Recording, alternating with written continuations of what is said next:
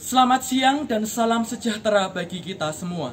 Dewan juri yang terhormat, perkenalkan saya Berlian Putra sebagai pembicara pertama dari tim afirmasi setuju dengan mosi bahwa penerimaan mahasiswa baru hanya didasarkan pada tes talenta bawaan, bukan pada hasil nilai atau tes akademik. Dewan juri yang terhormat, talenta merupakan bakat yang dimiliki seseorang yang menjadi sebuah nilai lebih tinggi bagi setiap orang. Dewan juri yang terhormat, sistem masuk perguruan tinggi negeri di Indonesia sampai saat ini terdapat tiga jalur. Satu, SNMPTN. SNMPTN merupakan jalur masuk perguruan tinggi negeri dengan menggunakan nilai raport yang dicapai selama lima semester.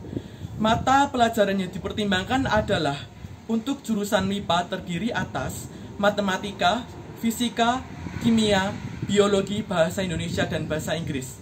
Sedangkan jurusan IPS terdiri atas matematika, sosiologi, ekonomi, geografi, dan bahasa Indonesia serta bahasa Inggris.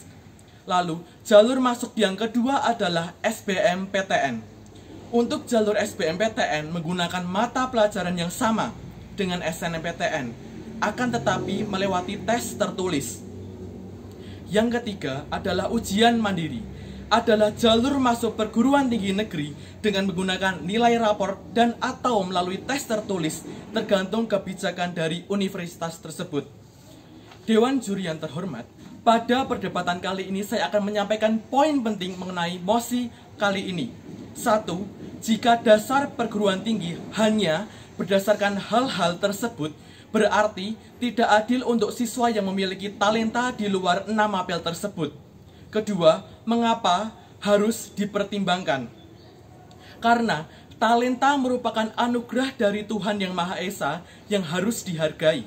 Dan kami rasa jika ini dijadikan pertimbangan merupakan suatu penghargaan bagi siswa tersebut. Saya yakin ketika di bangku perkuliahan mereka akan lebih nyaman dan mendapatkan hasil yang maksimal.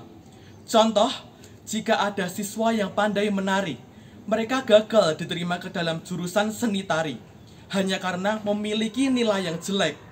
Mereka pasti akan merasa gagal dan sedih, sehingga akan menghambat atau menggagalkan mimpi mereka, dan kami rasa ini akan berdampak buruk bagi siswa tersebut. Poin yang ketiga adalah perguruan tinggi yang menyediakan program studi yang berkaitan dengan talenta, faktanya adalah perguruan tinggi negeri. Jika untuk diterima berdasarkan nilai, kesempatan siswa berbakat sangat kecil untuk diterima di perguruan tinggi negeri. Dewan juri yang terhormat, poin selanjutnya adalah sistem tes talenta bawaan.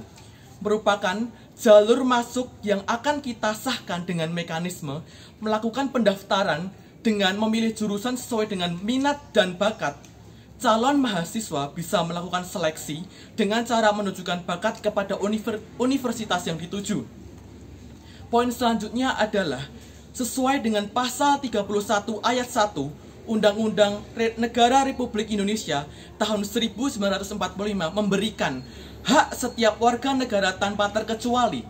Dengan demikian, orang yang memiliki talenta harus memiliki kesempatan yang sama. Sehingga mosi kali ini akan dapat mencapai pasal 31 ayat 1 Undang-Undang Negara Republik Indonesia tahun 1945. Dewan juri yang terhormat, dengan demikian saya sebagai tim afirmasi tetap bangga dan setuju bahwa dengan mosi kali ini bahwa penerimaan mahasiswa baru hanya didasarkan pada tes talenta bawaan, bukan pada hasil nilai atau tes akademik. Sekian, terima kasih.